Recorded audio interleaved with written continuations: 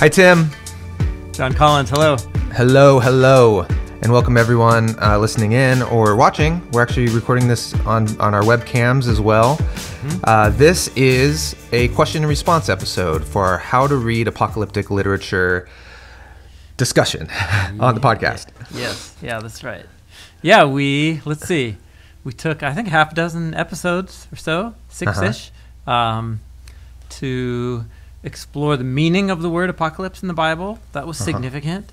And uh, the longer that's been sinking in with me, I mean, I, I kind of knew it already, but to really sit in it and try and explain it, it's been uh, helpful for me all over again, at least in the course of our conversations. Yes. And we've gotten some really great um, questions from you all, and we'll try to get through a lot of them. Um, and, uh, and I think it'll be a great way to wrap up this conversation on how to read apocalyptic literature. This is, again, the uh, dream and vision literature in the Bible, and it's uh, it's found in the Book of Revelation, the Revelation, the last book in the New Testament, but it's also found in the prophets, um, in the Book of Daniel. Mm-hmm. Different sections of the Hebrew prophets. Yeah, that's right. Yeah. So that's what we're talking about. Yep. Yeah, that's right. So, should we dive in? Let's dive in. All right. Uh, Danielle from Oregon, somewhere in Oregon, with us. Uh, you got a great question about uh, apocalyptic literature and the end of the world. A lot of people like to claim that the Bible predicts the end of the world, um, that things are just going to get worse and worse and worse, and more natural disasters, and quoting different scriptures to support this um, especially in this coronavirus time. Uh, people like to quote these different scriptures. Um, I would love to hear your interpretation of this and get a better biblical understanding. Yes, so we actually didn't end up talking about all of these d- disasters, images and scenes of disaster and cataclysm. Uh, we didn't really tackle it until think the last episode of the conversations when we talked about all the violence and destruction in the book of Revelation. Yeah. Yep. I don't I don't remember when we talked about, but yeah, and that's that's something that I grew up with, mm. and um, yeah, it's intense. Yeah, it's, that's right. It's scary. A lot of intense imagery, um, and so uh, th- throughout history, um, there's always been um, in a, uh, a thread of communities in the Jesus movement who um, maybe they didn't have their own copy of the Revelation before the printing press, but they knew a lot of it, or they saw it at church or something. Um, and uh, they would look at current events in their own day and be like, okay, the wars, the famines, the locust plague, this or that, surely this is the time. Um, the interesting thing about that is that generation has never stopped. Like every generation has seen itself, right, as that culminating point. Um, so I just want to recall, first of all, that map. We covered um, a map of interpretive approaches to the revelation. This was from our, I think, our last conversation. And so, in a way, Danielle, um, I think when you asked the question, we hadn't released that episode yet, but it's a good chance to just summarize that map again. So this was from Michael Gorman's. We could put it on screen. This is a video right now. Oh, Yes. We we won't, but someone yeah, can maybe yeah, do it to- afterwards. Yeah, from from the show notes. um, so think of uh, what do you call the ver- on a cross axis? What do you call the yeah. ver- the vertical axis? I'm pretty sure that's the x. X. No. And why? No? Let's just call it vertical. Yeah. Just, I, I, don't know. I like to call it vertical, vertical, horizontal. I should know this. It's all right. On the vertical axis, um, there would be two contrasting approaches to reading the Revelation. One on the vertical end, the top, let's say the top, would be x-axis. The x. No, no, vertical is y. vertical is y. I got it. I googled it. Is it okay if I just say vertical? yeah, the, yeah. The vertical, vertical y, the vertical y axis. um, so at the top being, I think he said, said at the top. It might have been at the bottom. I forget. But for this conversation right now, the top would be reading Revelation as a secret code.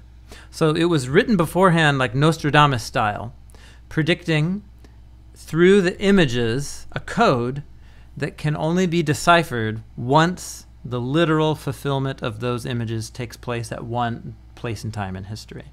So that would be the the secret code, the code approach.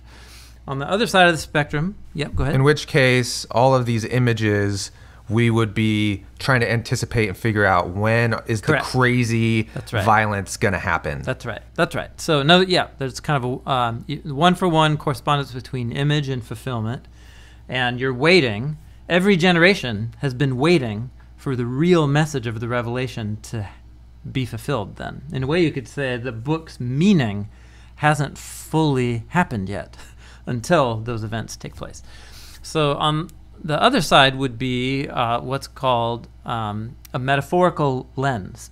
In other words, that these images of disaster um, refer to events that actually happened in the Bible, and then through design patterns, they're repeated over and over again um, to tell the readers about the meaning, the, the theological and biblical meaning of disasters that happen in our world and that are going to be happening in our world all up until the moment it all hits the fan and you know the the universe is reborn uh, according to Jesus' metaphor in Matthew 19 verse 28 the rebirth of the universe. So every generation should put on the images in the book of Revelation and see their own world being described through the means of the images. So that's on that axis. And then on the time axis, let's say, let's do this axis, the question is, um, and it's, it's for both. Does, is the message of the book mainly for the first century reader? Um, or is it for only for future readers, past and present? And so you can kind of create a little grid of all of the different approaches. And so, Danielle, I'm guessing that what you're referring to in your answer is somebody who would be uh, up here on the secret code future futurist approach. S um, it's a set of events that have not not yet happened, and only once they happen will the real meaning of those images be fulfilled. But it's good to just know that's only one corner of the grid of how the whole Christian tradition has read and understood the book th throughout time. There are other approaches, some of them that are just as ancient as that approach. Um, so, so, that's one, the, the grid. I don't know. Any further reflections on, on the grid, Jon? Well, I, am guessing I, here's here's a follow up question. Yeah. What what part of the grid was Jesus thinking in in Matthew? Yeah. 24. Well, that's a, when um, that's exactly right. his disciples came and said, um, "Well, what is Yeah. what happens?" Jesus says, right. um, "This this temple is going to be destroyed." Yeah, yeah. They go. Uh, Jesus just predicted the destruction of the temple symboli- symbolically, uh, and went into it and quoted Jeremiah seven, and played scripture kung fu with the Bible scholars there, hint- hinting at the destruction of the temple. Right? There's a den of robbers, quoting from Jeremiah seven, which is a poem where Jeremiah predicts the destruction of the temple, which happened in, the Babylonian exile. So Jesus picks up that and then uh, kicks off a week of Jesus getting into verbal fights with the leaders of Jerusalem and the temple. And then, what? Yeah, um, in Matthew 24, Mark chapter 13, um, Jesus' disciples are touring the temple and they're like, "Ooh, Jesus, look how beautiful it is!" And he's like, "Yeah, it's coming down, not one stone upon another." And then they said, "When will this happen?" Yep, that's right. And Yeah. um, here I'll just quote from Jesus. Yeah. Um, uh, you will hear of wars and rumors of wars, Yeah. but see it to it that you're not alarmed. Such things must happen, but the end is still to come. Nations will rise against nation, kingdom against kingdom. There will be famines and earthquakes in various places, and all these things are the beginning of birth pains. yes, that's right.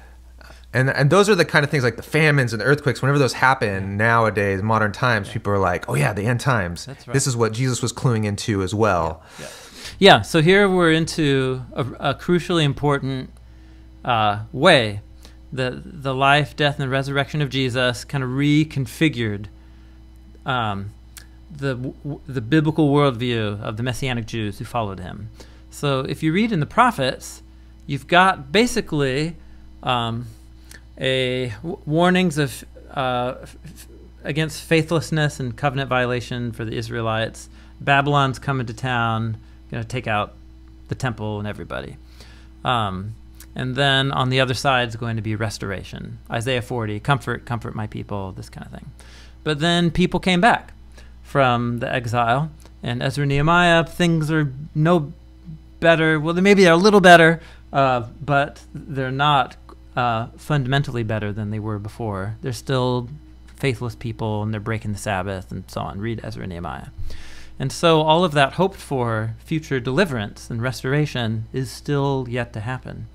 And so, um, as the Hebrew Bible comes to a close in those centuries after the exile, there's a sense that there's still another event that's yet to take place. There's still some final judgment, final separating uh, of the faithful and, and the faithless among God's people. There'll be a new temple, all that kind of stuff. And so, what um, what happened on Easter morning, according to the apostles, was that what was supposed to happen in prophetic expectation at the culminating history of the whole world actually happened to one person ahead of everybody else. Instead of the final recreation and resurrection of the universe, you had one person, the Messiah, being resurrected and recreated here in the middle of our old world. And then that begins a time period that biblical theologians call the now and the not yet.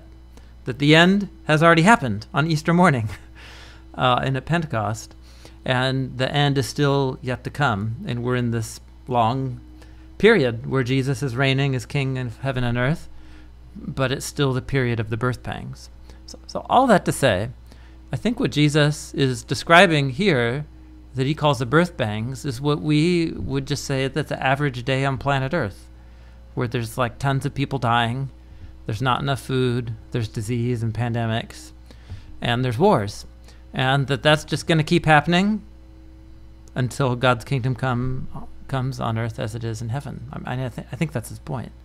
Um, now the trick is is that uh, I think Jesus' near horizon for what he's talking about, he says, is the destruction of the temple, which happened um, not quite 40 years after he said these words. Like what he said happened actually happened. Uh, and and the temple fell, which he goes on to describe that uh, there'd be something terrible happening to Jerusalem, and so on. And what this is very important for this whole conversation.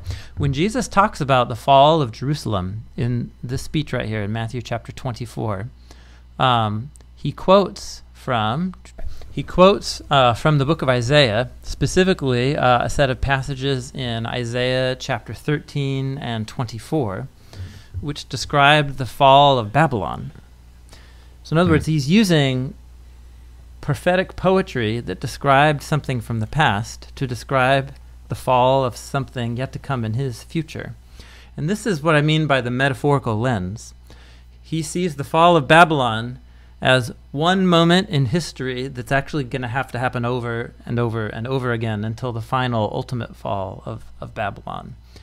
And um, so when, when, and this is that exactly the same dynamic happening in, in the book of the Revelation. And so uh, it seems to me the way Jesus and the apostles read the Hebrew prophets, the way John, the visionary in the Revelation, reads the prophets and Jesus' teachings, is they see that every generation will have its own replay of the human condition and of the rise and fall of Babylon's, some worse than others, and it's it is all leading up to a, final culminating culminating point. But every generation is to see itself as living in the book of Revelation. That that's the whole point. That's why the book of Revelation is a letter written to churches in the first century, though not just limited to them, but um, they are to see themselves within that same drama that Jesus sees himself within 40 years earlier that the prophets saw themselves within 500 years earlier. Yeah. I'm, I'm rambling at this point, but. No, it's great. Question. Uh, we're belaboring her question. And that's no, it's fine. a really good question. That's why I thought we should it start It is a good it. question. Um, now, the phrase end times yeah. in the yes. Bible, is that a good translation? Um, it's end of an age. Is it end of an age? or end of the age. Um, I think part mm. of the part of the problem, mm. I think, and behind her question is when someone comes and mm. says, "Hey, that plague, this plague we're living yeah. through, this is a sign of the end times." Yeah, yeah. I guess it just depends on what you mean. Yeah. If you mean this is a sign that new creation is yet to Right. come, Yeah, Then yeah, yeah. that's right. That's a, that's, that's exactly totally right. right. Yep. Yeah. But if you're saying this is a sign that in the next so many moons, like the Earth is going to be destroyed, or that the that time as we know it is going to end, um, maybe that's part of the Yeah, wrinkle. Yeah, or, or m- more common, especially in certain forms of American, um, more conservative Protestant interpretation of the Revelation, it's it's sort of like creating apocalyptic fervor um, to to generate what is a good thing, which is faithfulness to Jesus, right, and to bear witness to what He's done and talk about it and love your neighbor and that kind of stuff, and so th- that's good. Uh, but the point is, is that it's not just our generation that has a special privilege of living in the end times. Every generation has been living in the end times since uh, the moment that Jesus resurrected uh, as a part of new creation. So end times is a weird way to phrase that. well, uh, the phrase actually comes because oh, in. English, end means yeah, in English, end means the the end. I see. And uh, you're Yeah, saying well, it's that's it's right. not a and that's that's not a destination of time. Yeah. Well, that's not no, what you're saying. uh, but it is. It's the unique w- Christian way of talking about history that resulted from the empty tomb and seeing the risen Jesus. The thing that, that according to the biblical story so far, was going to happen at the end has happened now. the resurrection resurrection of Jesus. is the end. that's the end Correct. game. Resurrection, Of, of the faithful and of the universe. Um, and what happened to Jesus happens ahead of everyone else, creating this overlap.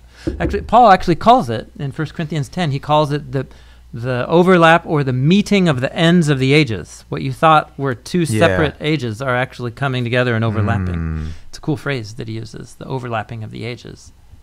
So so when people say we live in end times, they mean we live in the overlap. Uh, I think I think if we could sit down with the apostles, I think like Paul, uh, that that's what they would want us to hear. P- Peter in his second letter, uh, Paul in one of his letters to Timothy talks about that they were in the end times, and they said that two thousand years ago.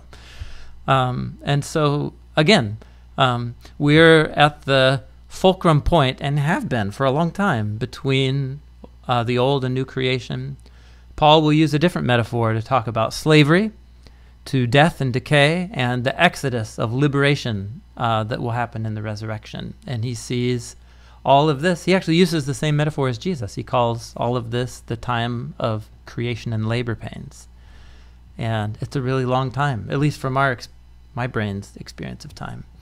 From a rock's experience of time, 2,000 years is not very long, but yeah, not very long at all. Um, so I, I'm just trying to give the lay of the land. I, I've over time I've come to just have a really open-handed, charitable charitable view to all of the views on the grid of how to read the Revelation.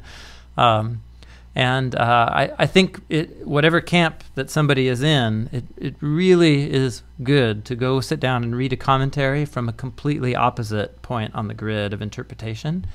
And what you'll see is, oh, that person's really smart and they understand the book probably way better than I do. And I should be a little more humble in how the views that I hold. And so that, So it sounds like you're saying use that grid as a guide so that when someone comes to talk to you about apocalyptic Yeah. literature, you can try to figure out what perspective are they coming right. from, honoring their perspective, but also knowing what, what that is. Yeah, that's right. And, And, that there are strengths and weaknesses of it. Um, usually, when there are uh, there are divisions like this in church history that are really long-standing, and b- both held by people who really want to follow Jesus and understand with with honest hearts. Usually, it's because there's a genuinely difficult thing to interpret in the Bible. uh, it's, it's it's almost certainly not that just everybody's malicious except one group, and so we just have to give space space to each other um, which might actually kind of lead us on into some of our further questions because apocalyptic is the kind of literature that is d- difficult takes a lot of work to learn how to interpret and that's a part of the uh, challenge All right. This next question is from Brenda in Florida. I'm curious about the dreams that Joseph interpreted of the kings while he was in Egypt. They are apocalypses, however. They seem more personal and practical in nature. They don't seem to follow the throne room theme, that is, of the ma- more major prophets' apocalypses. I'm curious as to what you guys think about that and if maybe there's a parallel theme of more personal and or practical apocalypses throughout the Bible. Yeah. Yeah, great question, Brenda. I thought that was perceptive. Um, there are a lot more dreams, apocalypses in the Bible than just these co- cosmic ones. Maybe well, let's use that as, as our phrase. A cosmic apocalypse is uh, kind of more what we were exploring in the podcast series, where prophets have these dreams or visions. They see an exalted throne, a new Eden, a human divine figure up there dressed like a priest giving wisdom about heaven and earth and the cosmos and where it's all going. So uh, that would be a cosmic apocalypse. But there's lots of other apocalyptic dreams that people have. We ta- oh we talked about some, just dreams in general. J- Joseph and Mary have them, right? Pilate's wife has a dream about Jesus. Um, and so, Brenda, you bring up Pharaoh's dreams. Um, so, on one sense, uh, yes, you would say this is where apocalyptic and prophetic dreams kind of overlap. You know, these aren't hard and fast categories, maybe like sections of our library. You know, here's the prophets part of the library, here's the apocalyptic part. Um, so, people have dreams that they discern uh, a message from God for all kinds of reasons and for all kinds of purposes. It doesn't have to be about, um, you know, the final culmination of history.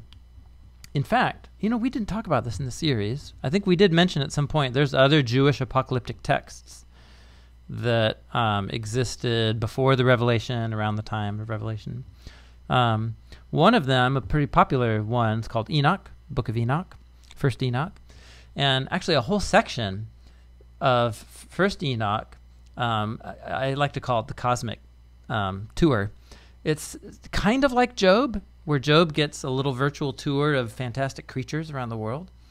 Um, but Enoch gets taken on um, these like plane rides, but it's before a plane; he's just flying, and um, he goes up into the clouds and he goes and sees the farthest reaches of the skies.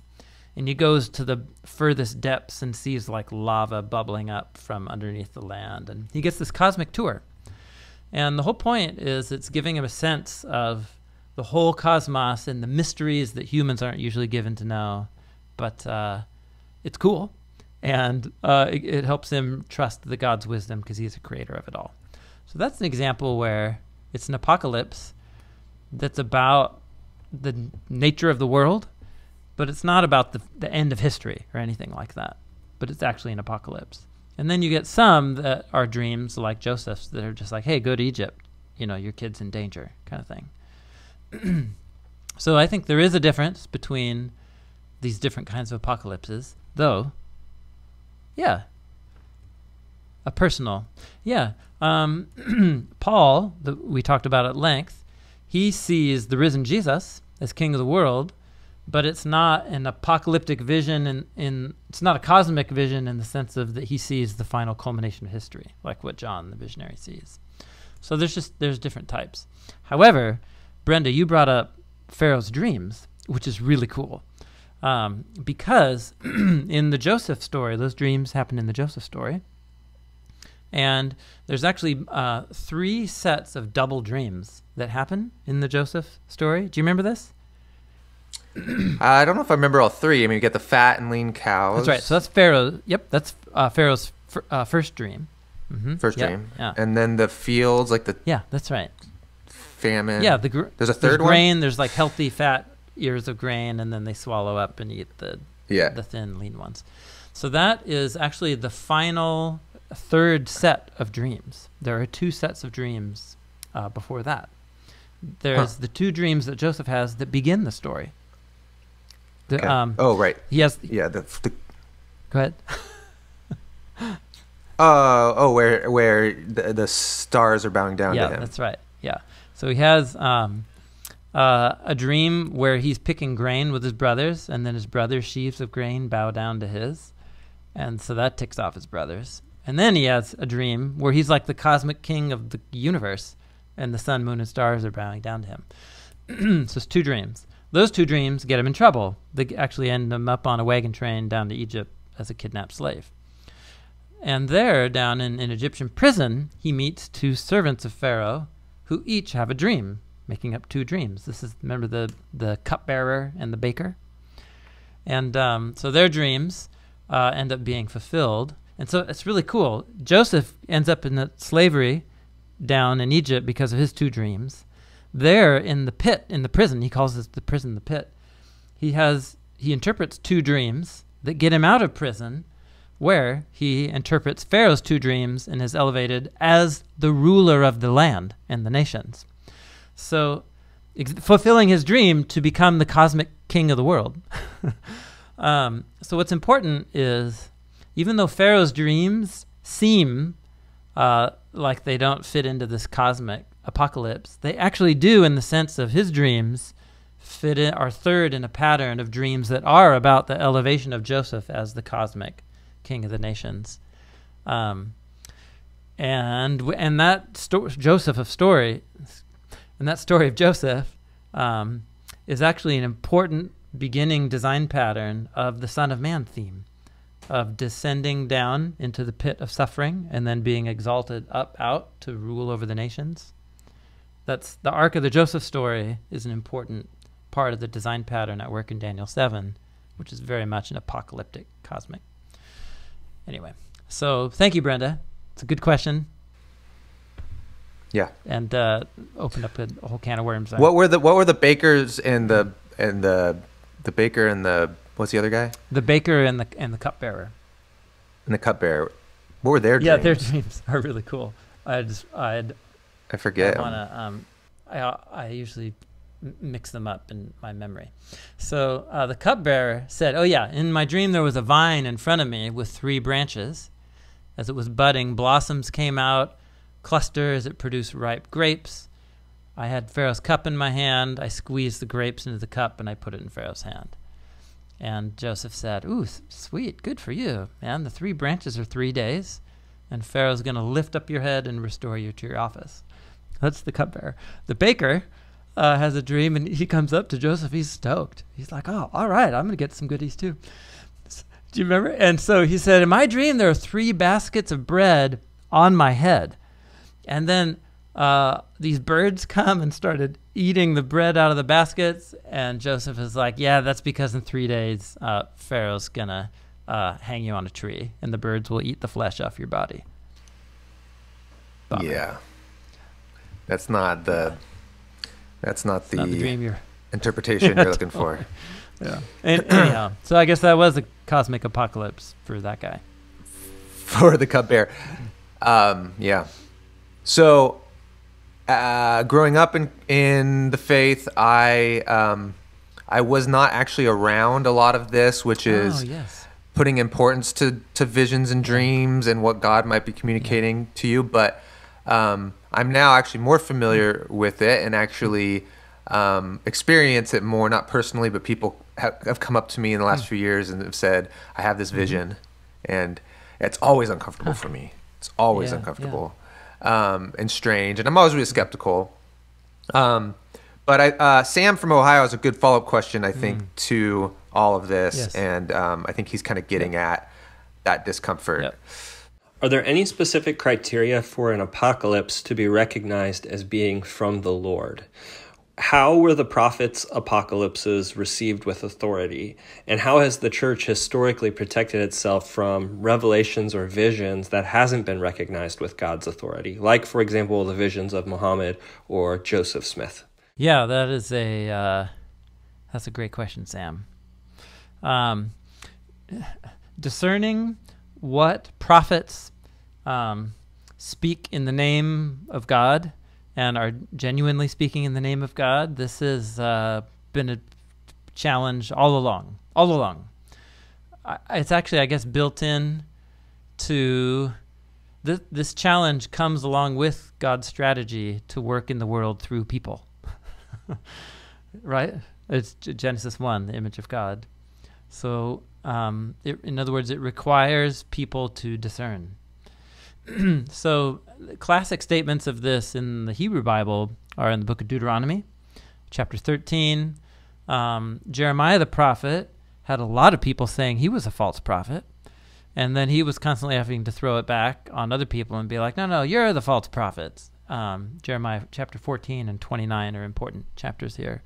Um, and in the Hebrew Bible, the main criteria given for whether you can discern a prophet is if they say that something's going to happen and it doesn't happen, then it just says, yeah, don't, don't listen to them. Like, don't pay attention to them. Just stop listening. Pretty straightforward. Um, if they lead you to start following other gods, like go worship Baal and so on, then they're to be put to death. So that's intense. Um, so you got an you have a sense there already that there are were criteria. Is this leading us towards the covenant love and purposes of Yahweh, or is it leading us away from Yahweh to another god? Is this does this prophet actually give wisdom that actually happens in the world, or they just kind of whatever off on some other planet? So, so this is issue in the Hebrew Bible. It's just as much of an issue in the New Testament. And these are some well known passages, actually, where it gets talked about. Um, Jesus talks about false prophets. Do you remember this in the Sermon on the Mount? He says they're like wolves in sheep's clothing. It's a, it's a famous line, actually. Um, yeah, yeah. So he was aware of lots of people leading Israel astray. Some people thought mm. he was the one leading Israel astray, the people that killed him. Yeah. Uh, isn't the point of that metaphor that it's really hard totally. to tell? The wolf that's is right. in the sheep. That's it looks right. like a sheep. And that's why right after that he says, "You know them by their fruit." Look at look at uh, which is very similar to the criteria. Does it lead us towards Yahweh or away from Yahweh? Um, does it lead us uh, toward greater fa- faithfulness to God and His covenant or less? Um, Paul had to deal with this in Corinth. He brings it up brief. Brings it up in chapter 14, where he's talking about prophecy people talking about dreams and visions that they have in the community. And so uh, he makes uh, the short statement of the gospel uh, that Jesus is Lord a good criteria. He says if somebody is claiming to prophesy, but they can't say that Jesus is the King of the universe, then don't listen to them. They don't have they don't have the Spirit. Paul says. Um, and then the most explicit point um, is in First John, the letter of First John, chapter four, where he says, "Test the spirits. If somebody claims to be representing the voice of the Spirit in dreams or prophecy, uh, you know, use collective community discernment. Does this square with the teachings of the apostles? Does it lead us towards Jesus? Does it lead us to love God or neighbor? And if it doesn't do those things, um, then uh, we should probably not. Maybe we should actually, what he doesn't say is don't listen. What he just says is use discernment and don't believe everything that people say, which is just kind of wise, wise in the first place. But uh, I, I, don't know. What do you think, Jon? I, I, it's very easy to talk about this. I've been in scenarios where it's much more complex than what I just described. It gets really complex. I mean, we we kind of said, "Hey, it's pretty straightforward. If it doesn't yeah. happen, then yeah. it's not from God." But it's it's never that straightforward because when you're talking about images yeah. and visions, right. there's always a sense of like, I don't know what this means exactly. Take it as you will. Right. Um, and then if it is specific and that specific thing didn't happen, it can be re reinterpreted. reinterpreted. Totally. I think the classic. There's. Uh, I can't remember where I was listening to this, but someone actually studied a lot of mm. these um, these cults, or whatever you want to call it, where it's like, or just yeah. religious groups who are like, the world is ending, and I have a oh, date, yes. and I know what it's yeah, yeah. it's happening, and um, and what happens when it so clearly mm doesn't happen? And they told a story, and I can't remember who it was, but this this one guy uh, had this date, and all night they're like up waiting, it doesn't happen, and you would think this is the moment of like, mm. I was wrong but instead, hmm. he's like, "We did it, guys! Our faithfulness oh, saved the world." Um, so that's yeah. why the world yeah. didn't end because. Um, so it gets really murky. Yeah, obviously. Totally. Yep.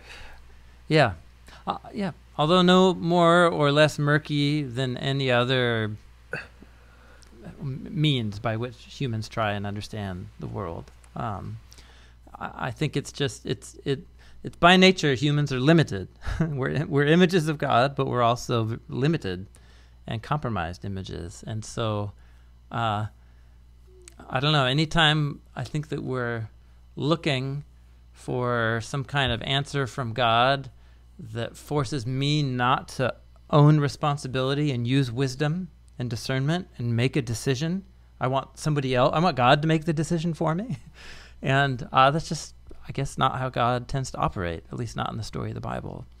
And so it requires discernment and responsibility and ownership. And um, I think that's, I don't know, I, I don't know what else to say, except this is just the way that uh, prophecy and dreams have always been in the biblical tradition. It's not a new challenge.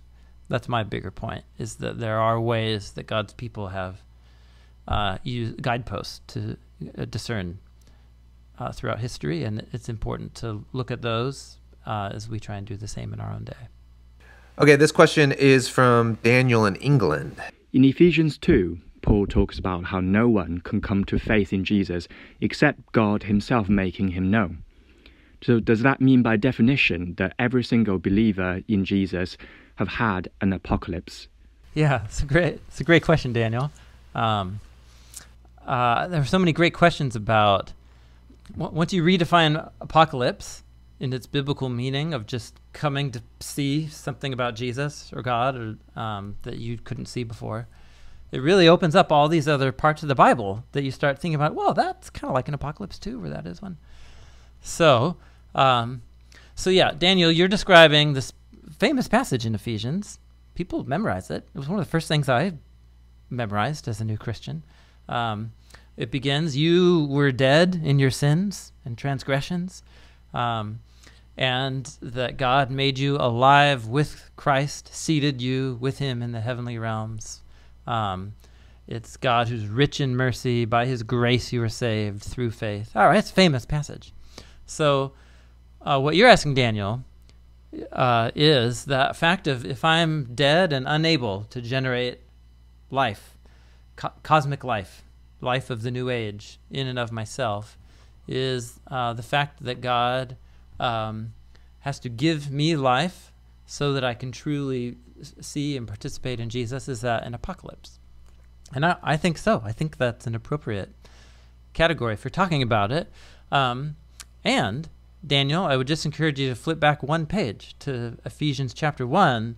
And Paul actually uses the word apocalypse to describe this. Um, in chapter 1 of Ephesians, he uh, finishes his amazing one sentence poem. It's one sentence in Greek from verses 3 to 14. We've talked about this before, I think. Uh, in uh, in your Ephesians That's class. The classroom, yeah. Such yeah. so complex. But in chapter one, verse fifteen, he shifts after this poem and he starts praying for uh, the believers um, that he's writing to, and he says, you know, I'm I'm giving thanks uh, for you. I mention you in my prayers, and he says, I pray that the God of our Lord Jesus Messiah, for the Father of glory, may give you a spirit of wisdom and apocalypse as you come to know him. I pray that the eyes of your heart may be enlightened so that you will come to know, and then he names three things uh, that they come to know. And they are all future oriented. Two of them are future the hope of his calling, the riches of his glorious inheritance among the believers. Actually, all three are present, and his surpassing power that is available to us who believe. So he's writing to a persecuted or at least ostracized religious minority up in Ephesus, saying it's going to require, he's praying for an apocalypse to see that actually they are the ones who have the inheritance, the real inheritance of the future new creation. And God's power is available towards y- you. That that's hard to see on an average day and it, it takes the eyes of your heart to have an apocalypse. Isn't that a cool image?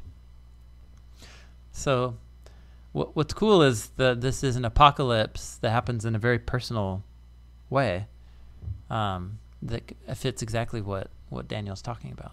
Does that go to show just how general the term apocalypse is, or are we beginning to conflate kind of two separate things? Because there is this, the, we're calling it the cosmic apocalypse, which are these, the book of Revelation, the Revelation, Yeah.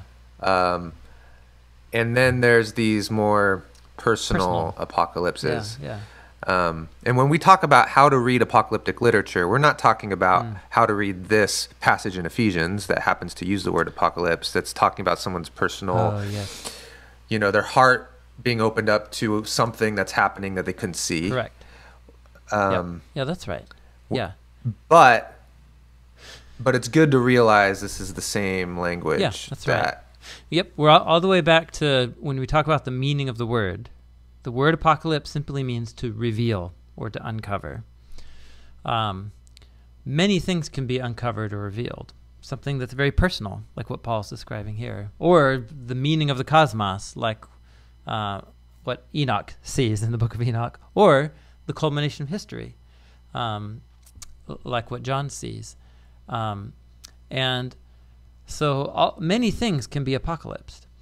What we're after for this video was when you have a whole collection, a whole section of a biblical book or a whole biblical book that is um, a composition of dreams and visions that are all coordinated and connected together. This is we call apocalyptic literature, and that's what we're after. So I guess that's maybe one way to s- separate it. yeah, cool. Yeah. Great. Let's do Katie in New York has a question. I'm wondering, is there a relationship between testing and apocalypse? Since testing reveals what is in a person and apocalypse reveals what is hidden, does it follow that these ideas are closely linked in the Bible? I'm thinking specifically of Jesus being tested after the Holy Spirit descends on him at his baptism. What do you think? Thanks. Yeah, I, th- I thought that was a really interesting question. Um, test stories uh, uncover what's in someone. It reveals something about a person, whereas apocalypses reveal something about God and God's purposes. Um, so in a way, they're kind of like the, in- the inverse of each other. Um, so uh, And we've talked a lot about test in the uh, Tree of Life that's series correct. that we Yeah, did. that's right. Um, That podcast series about how God does put tests in front of his people. Mm-hmm. That's right. Yeah. And and what is interesting is how many testing stories take place uh, accompanied by s- some kind of apocalyptic moment. Um, so in Genesis three, there's an ironic twist because um, the the woman sees the tree, then she takes from it, and uh, the forbidden tree, and we're told her eyes were opened, and you're like, oh, she really, Oh, she had yeah, apocalypse. apocalypse. and what she sees is that she's naked, and that was not a problem uh, before she chose to do what is good in her own eyes, but now um, it, it's a weakness and a vulnerability in the eyes of also that guy who will define good and evil differently than she might. And so what happens then is an apocalypse of God's presence in the in a little in a little design pattern nugget where it, it's called God comes to walk in the garden, walk about in the garden, uh, it, in the Ruach Hayom, in- the wind of the day, which is often translated the breezy time of day or the, but that's actually a, a description, and, and their response is to be afraid. So whatever, however, however God shows up, however He reveals Himself, they hide, um, and that starts to lay a pattern for God's fearful appearances, right on throughout the rest of the Hebrew Bible. Um, so when, uh, for example, when Abraham fulfills his great test on Mount Moriah with Isaac, the binding of Isaac, uh, he's up on a high place by a tree um, at an altar, and the angel of the Lord appears to him and uh, reveals to him, like, stop doing this, and he makes an oath. God swears that he's going to bless the nations through your seed, Abraham, because you did this. Um, that's a testing story where God once again reveals apocalypses his promise to bless. At Mount Sinai, the people are tested; they don't want to go up the mountain, and it's because God shows up in the, the the stormy time of day, the wind of the day. Um, there's all these stories. Ooh, and um, we talked. To, Wait, the same phrase is used on Mount oh, Sinai. um, r- well, the, the God shows up in the wind. Yes, He Yeah, shows up in he shows up. Um, Okay. In in the the- and then the voice. The voice of the Lord comes in the wind, and those are the same words used. And the voice of the Lord was walking in the garden at the wind of the day. Um, the story of David um, that we mentioned, where he um, blew it by taking a census, and then there's a plague in Jerusalem, and he goes up to offer that sacrifice, and he sees the angel of Yahweh with a sword standing in between heaven and earth. Such an interesting story. So he has an apocalypse, but that story is the testing story of David. Dude, we've never talked about this, and I just noticed this. I've been working on Samuel. Dude, in that story, 2 Samuel 24, the, the hinge of the story is where David says to God, he says, These sheep of Israel, what have they done? Let your hand be against me. He offers his own life, just like Moses, um, and except he's on Mount Zion. He, he's at the foundation spot of what's going to be the temple. So here's David uh, offering his own life in the pla- for his own sins in the place of the innocent people. In Moses, it's switched. It's innocent Moses offering his life in the place of guilty people. In David's place, it's turned over. But together, they start continue that design pattern of the. Anyway, I thought you would think think that's cool. So apocalypses of God's presence on high places and people's testing stories often accompany each other, which is even so. We've taken separate videos: the test and uh, the temple and apocalyptic. We haven't talked about the, the test is an upcoming video. That's right. That is news. That is news to anyone Yeah, listening. right. We we decided to make a video on this theme Yep. of the test. It wasn't originally Yeah. planned, but we realized there was Yeah. so much so much good content on the cutting room floor when we did our Tree of Yeah, Life video that was focusing more on the not on what the Tree of Life is and represents and following that Mhm. theme through, but uh, but that Yeah. the the the choice it Yeah, puts in front right. of you, which is a test of will you trust God or it's, not. it's going to be a cool video. Um, we were just looking at some new visual art today. That's going to be awesome. So, anyhow, Katie, your instinct is right. There is a, a larger interconnected design pattern of tests on high places where God apocalypses himself to somebody.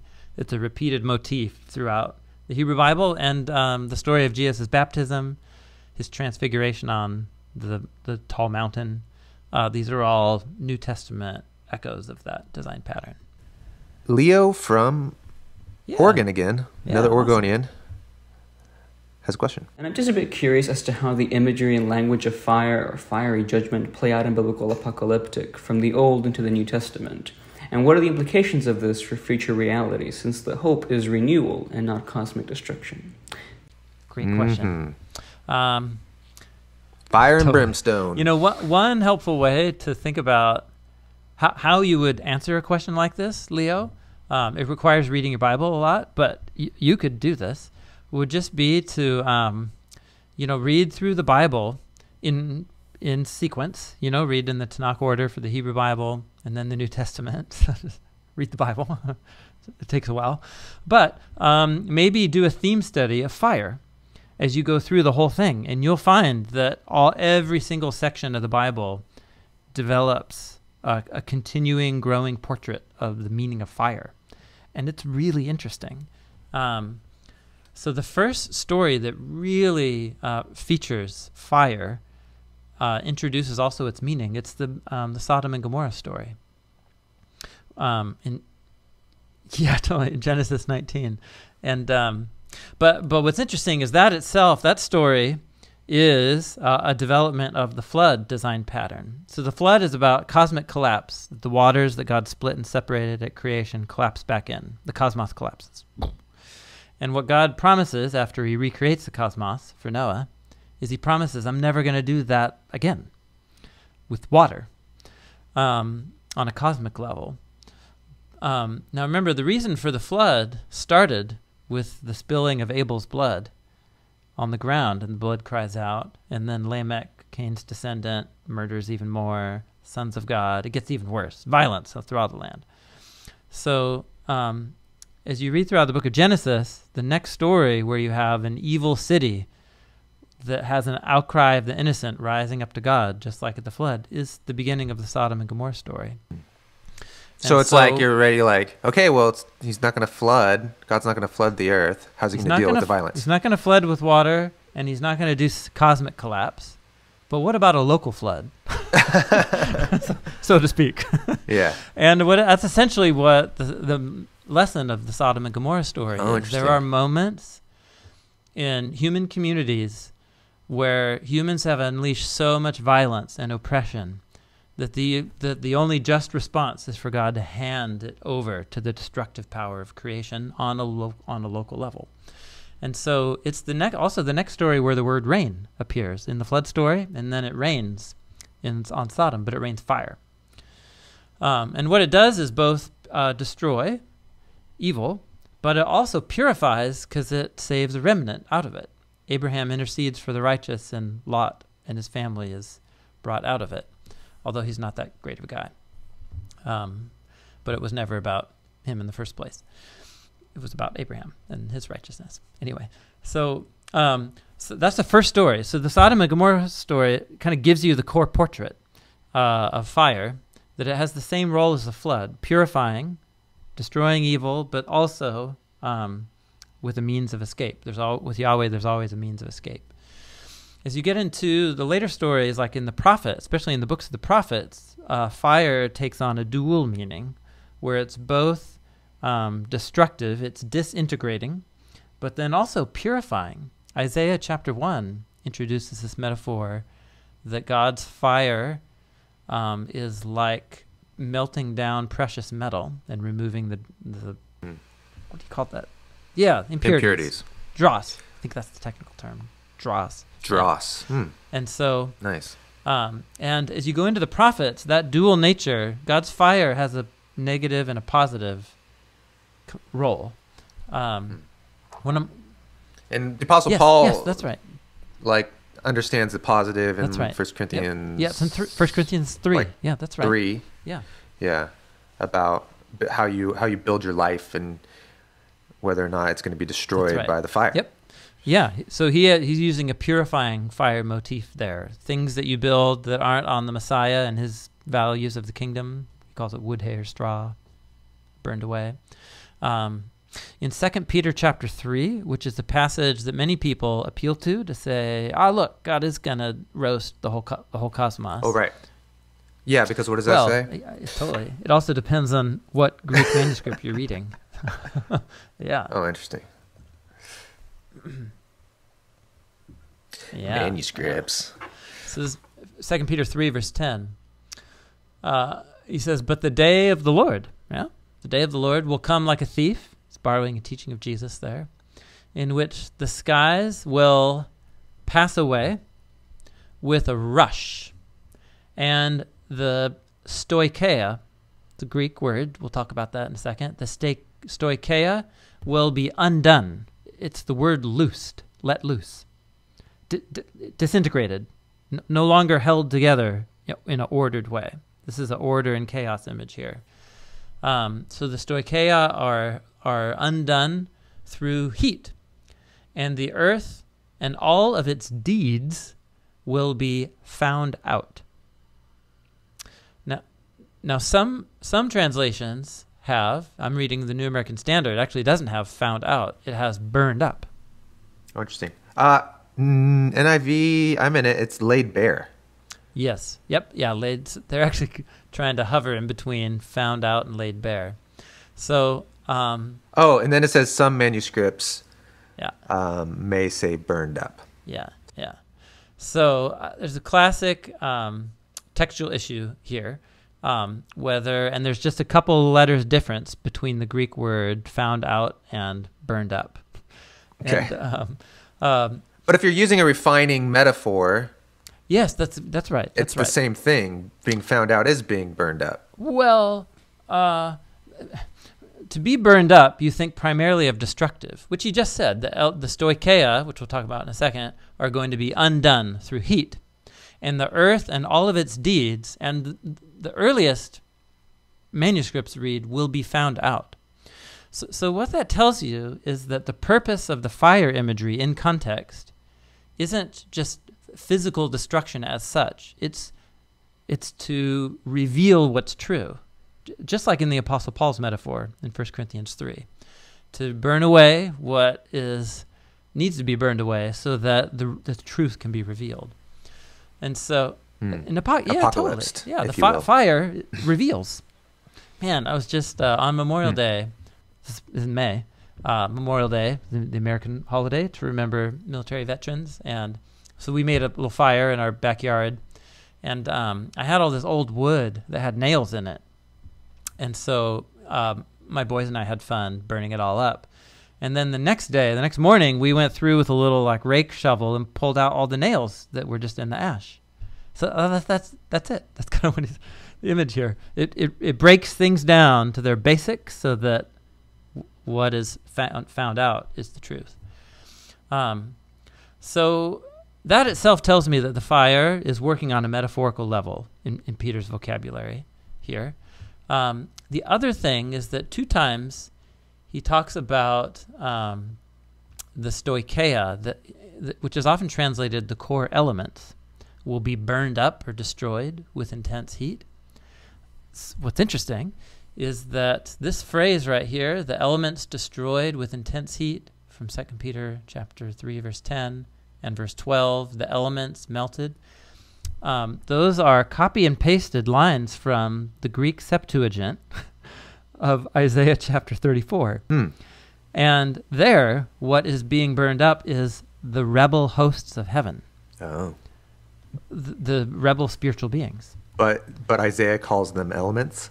But but and one of the ways that um, spiritual beings who are viewed as lords of the cosmos, um, the divine council, essentially, um, the, this this Greek word Peter uses is one of the Jewish Greek words used to describe the divine council. What is it in Hebrew?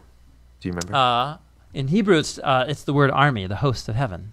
And then that was translated in the Septuagint as the as the elements sto- of heaven. as the, as the stoicheia. The stoicheia. Yeah, the stoicheia. Yeah, which is one of the words talking about one of the a spiritual being who's given responsibility by God to order or be o- oversee the order of some part of the cosmos. So my, my- my only point is it's not a hundred percent slam dunk that Peter is talking about the physical elements of the world. Um, it's just as possible that he's talking about um, rebel spiritual beings uh, uh, being undone through God's fiery judgment. Um, so, so that's a debatable matter, and I have a lot more homework to do on that. I just know that's an interpretive fork in the road that people take in interpreting this passage. But th- this is the um, only passage in the New Testament that clearly uses fire imagery with cosmic destruction imagery. Um, every other passage in the New Testament that uses fire imagery uses it uh, in a purifying way. Um, and there's actually not that many descriptions. Much more common are Jesus' images of renewal and rebirth, or Paul in Romans 8, the liberation of the cosmos, um, or in Revelation 21, the, a new creation, that kind of thing. So there's a variety of images that the apostles have to talk about the transition between this age and the age to come. And, and fire, purifying fire, is one of them. Um, this might be a, time to to mention. So, in the Revelation, and you talked about this briefly. In the Revelation, there's a lot of um, there's all these uh, signs. There's like three sets of seven. Oh yes, Um, yeah, the trumpets. what would you call 'em? The, uh, th- three sets of seven apocalypses of divine justice. Yep. Yeah, Yep. The seals, yeah. the trumpets, and the bowls. and um, all of the images of those Mhm. of um, I don't know is fire in there? Is there is there fire in any of these? Fire from heaven. I always forget. I mix them up. For which which So- sets are in which? But those? Well, you're go looking at that, Yep. but um, all these images are from the flood narrative. Yep. That's right. and the liberation of Israel out of Egypt, um, the Hebrew people out of Egypt, and then before they became Israel as a nation, and then um, and then also then the pr- prophets and how they use the same language. So all of that is like this vocabulary of images all around God rescuing people. Yeah. Yeah, that's right. Um, and uh, but they're very vibrant, violent, intense images. yeah. Yeah. And um, do you want to say anything more about that? I mean, that's really helpful for me to realize what you're seeing in the Revelation is really just a riff. It- on all of these images that start from the flood, Yeah. the Exodus, and then how the prophets talk about yeah, it too. yeah, just like Jesus quotes from Isaiah 13 about the fall of Babylon to predict what is future to him, the fall of Jerusalem in just a few decades. So, uh, John um, looks forward to, and whether he's actually before the fall of Jerusalem in 70, some people hold that view. Some people think he's looking forward to the fall of, of Rome, uh, as he's in the late first century. But the point is, is he never actually uses the word Rome. he, he in chapter 11, wh- whatever kingdom he's describing, he calls it Sodom, Egypt, and the Lord where the city where our Lord was crucified. so he's talking. Isn't isn't there an interpretation where six six six comes from like Nero? Uh, yes, yeah, that's that's one very probable interpretation of the six six six. In which case, Yeah. it's kind of like yeah, we're talking about Yeah, Rome. that's right. So, but, but the point is that he never actually uses the name of the city. He uses, he calls it by Sodom, Egypt, and Jerusalem, meaning that he, he knows how the Bible works. He reads the Bible according to design patterns. And so, um, in, in, yeah, in, in the same way, um, whatever John is looking at, he, he's less, I think, in my humble opinion, he's less trying to tell you through these images what you would actually see if you were standing outside a city, right? Uh, he's uh, at the end of days or something. He's trying to help you understand the meaning of God's judgment in any generation when Babylon's fall, uh, because they've overreached um, their God-given authority. Actually, here, I was going to quote from this earlier, but I thought I would. Uh, Richard Bauckham, Theology of the Book of Revelation. I'm just reading through it for the. For, I was just looking for the fourth time. I've had this book 20 years, and I'm read, reading through it my fourth time now. Uh, but in the, it's such a good book. But he has this really great section about the imagery in the Book of Revelation. Show people the show people your notes at the beginning of a book. You have this cool way of like um, recording oh, how. Well, you know, uh, because I, I didn't do it in this one. Actually, all my all my Oh. notes are in the in the Okay. in the margins. In the Yeah, margins. In the margins. Okay. This one. Um, but you have this great. Okay, uh, so this is interesting. Work, work with me here. So he says, um, it would be a, a serious mistake to understand the images of the revelation merely as timeless symbols. In other words, he could have chosen not necessarily like a dragon or a beast, but he could have chosen, I don't know, a bear or something like that. But the fact that he chose a dragon and a beast uh, is really important. He says uh, the character of John's images in the Revelation conforms to their context as a letter, a real letter to seven churches in Asia in the first century. The resonance of these images and their very specific social, political, and cultural and religious contexts need to be understood if we are to appropriate their meaning today. So, what, um, what does the harlot riding on a dragon mean in the first century? Before we adopt it as a lens to see my world through, I need to understand what on earth that would have even meant to anybody else in the, in the first century. Um, he says, however, if the images are not timeless symbols, but relate to a real world of the author and readers in the first century, we also need to avoid the opposite mistake of taking the images too literally as descriptive of the real world and of predicted events in the real world.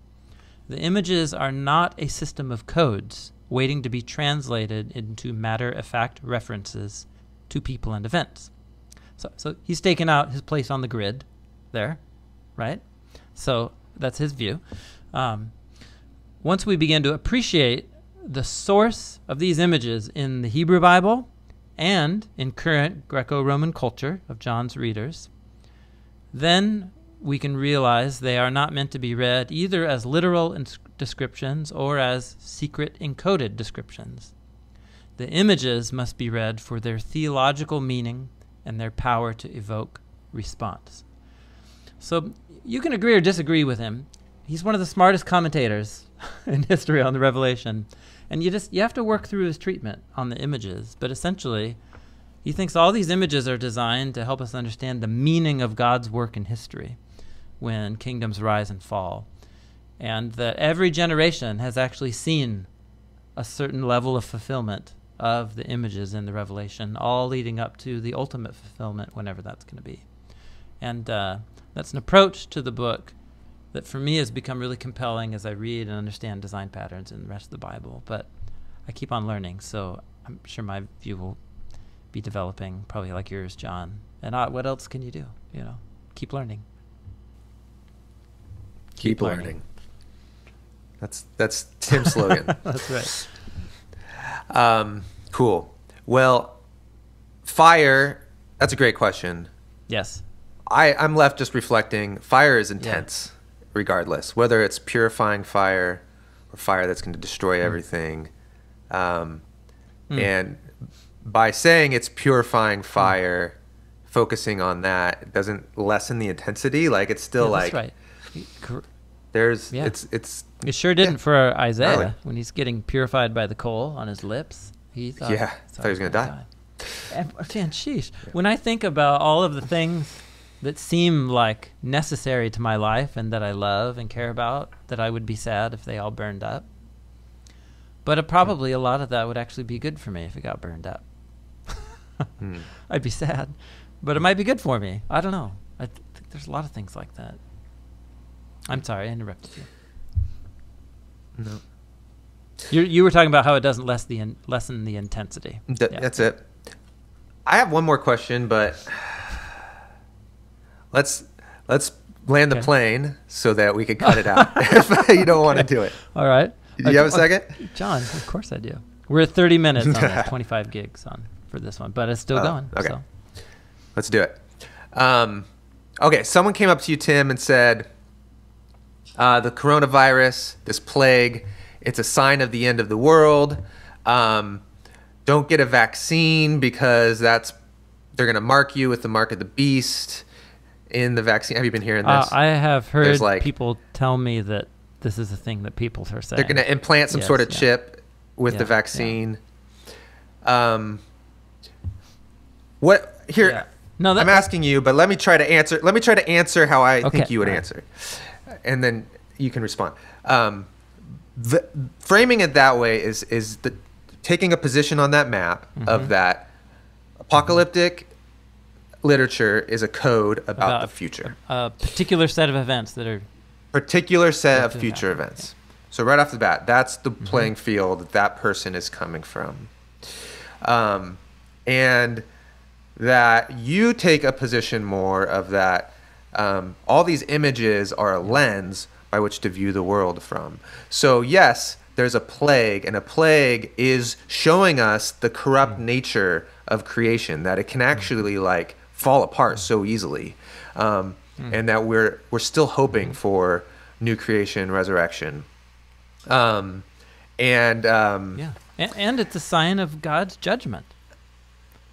Hmm. I mean, uh, being exiled from the garden is a part of God's just decision about hu- human rebellion and evil. So the fact that I die is a form of God's judgment.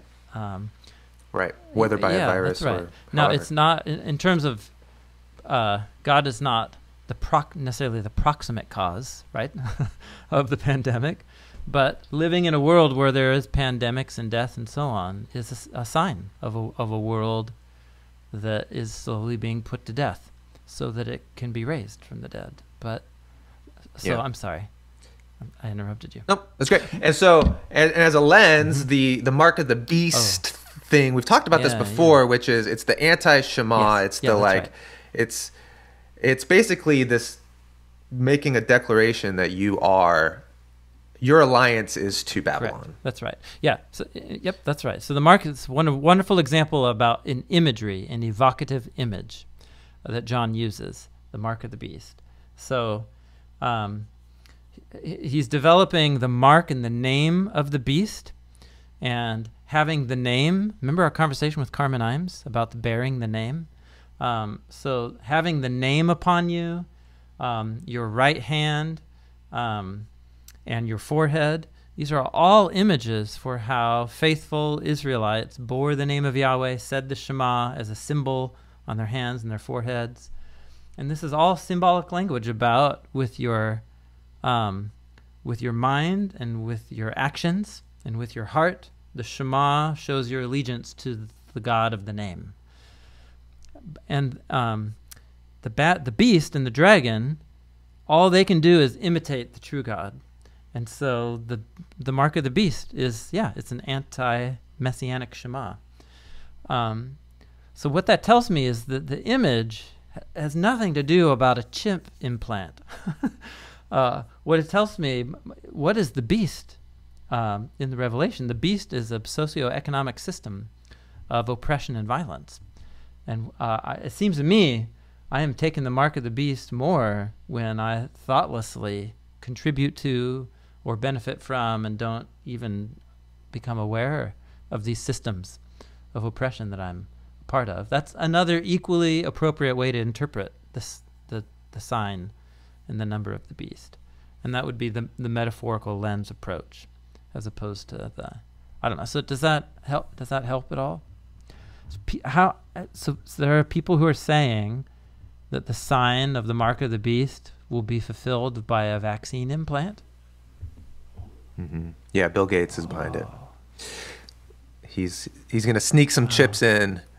Well, and I think the fear behind that ultimately is control of like we're gonna start being tracked Oh, and controlled by I see. um, Got it. by the government, which Well, yeah. So Yeah, I I mean- yeah, I don't know. I, without ha- having heard that line of reasoning, I, I can't directly speak to it. But you know, on first hearing it, my thought is uh, I feel like the tail's wagging the dog on that one, where um, it's a it's more of a uh, socio-political agenda, and I go looking for things in the Revelation.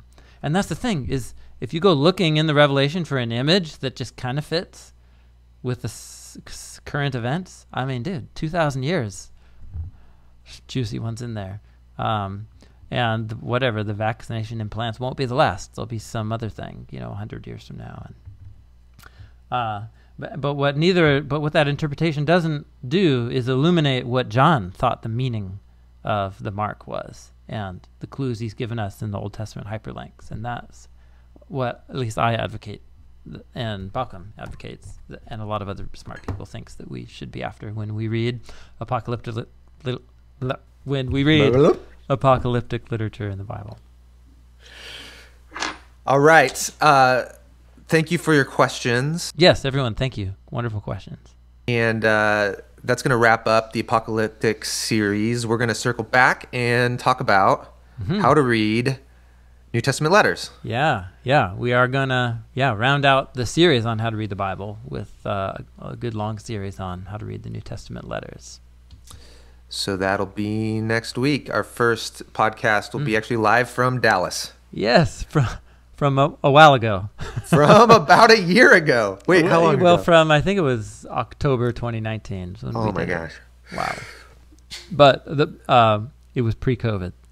Pre-COVID. It was pre COVID. Yeah, yeah. We didn't do a live in Dallas during COVID. anyhow. okay. All right. cool. Thanks, Tim. Yep. Thank you, Jon, and thank you, everybody. So we're part of the BibleProject, and BibleProject is a nonprofit. We want you to experience the Bible as a unified story that leads to Jesus. We look at themes, books of the Bible, literary styles, so that um, so that you can read the Bible, learn to read the Bible as a unified story that leads to Jesus. Am I doing it uh, faster than you, Tim? I think I'm kind of drawing this out.